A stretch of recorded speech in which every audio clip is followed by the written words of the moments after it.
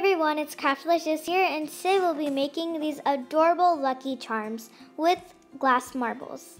The supplies that you'll need are some glass dome shaped marbles. These are the half-sided ones. You don't want the full-sided ones like the actual marbles.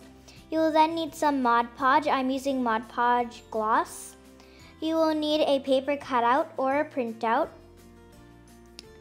You will also need a pair of scissors and then a pencil, and also a paintbrush. Let's get started.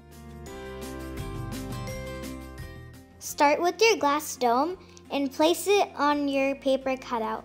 Then take your pencil and outline it.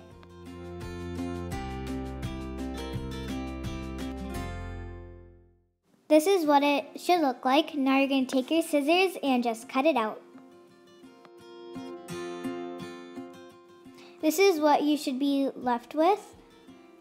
Now you're going to take your Mod Podge and just open it up. And then you're going to take your paintbrush. And then you're just going to dip it in.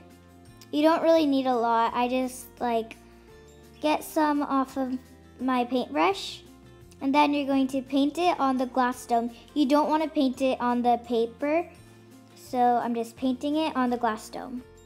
This is what it should look like, and then you're just going to place it on the paper cutout.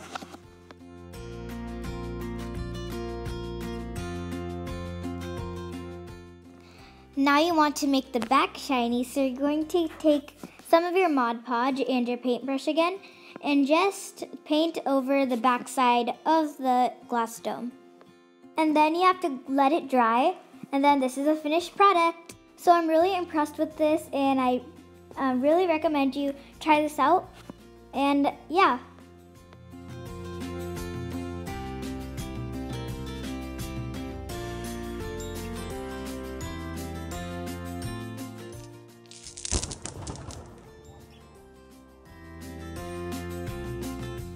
So I have this kawaii one, and then I have this rain one, has all the different rains and stuff.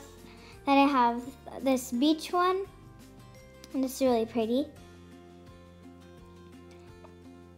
And then I have this sunset beach, and this is probably my favorite. This one and this one, and these both have my initials on it. And I have this one that says just do it. And yeah.